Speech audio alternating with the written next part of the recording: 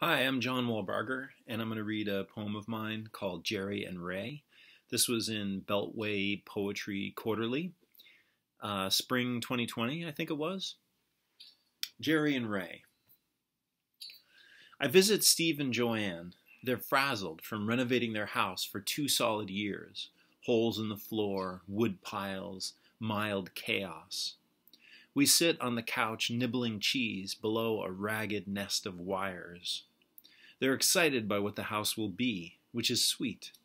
Steve, mouthful of brie, blurts out, Johnny, have we got a juicy story for you?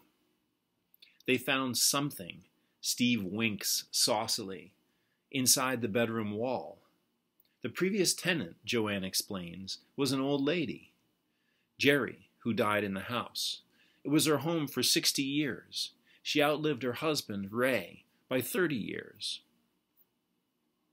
At the end, so the story goes, Gerry, almost blind, died alone in bed. Steve, hammering gyprock, found a packet taped shut To Ray, Merry Christmas. Also, black and white photos of a naked lady in a beehive hairdo.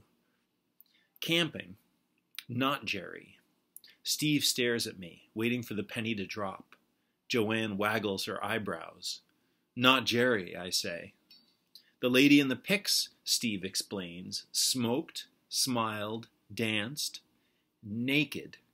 Naked in a canoe, naked in the sun, in a tent.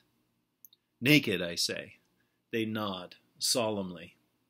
The husband, Ray, must have sealed the photos in the walls, drywalled them in, and painted over it.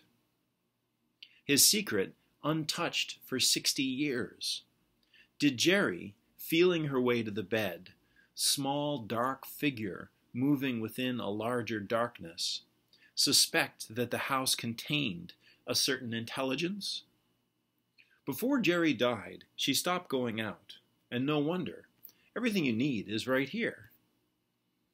Out the window, a family strolls by in silence, like supernumeraries in a dream. Beyond them, an oil refinery groans like a bull. Joanne says, I blame Ray for Gerry's loneliness. Joanne found, she explains, Ray's walking sticks in the garage. Ray learned to carve as a POW in Poland. He couldn't talk to Gerry about his troubling memories. She didn't get it. So he visited, visited Madeline across the street. Madeline was not the naked woman, says Steve, eyebrow arched. At Madeline's, Ray helped around the house, fixed her guitar. They talked. One evening, Ray didn't return for supper. Gerry put out the call. Ray's body hunched over his steering wheel, bottom of the street. I guess, I say, every house has secrets.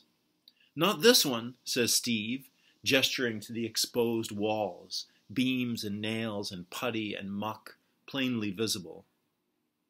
Joanne smiles. For thirty years afterwards, Gerry felt her way to the bed. Her handprints trailed the walls, errant gray with a dim yellow horizon where her hands had been. Thank you very much.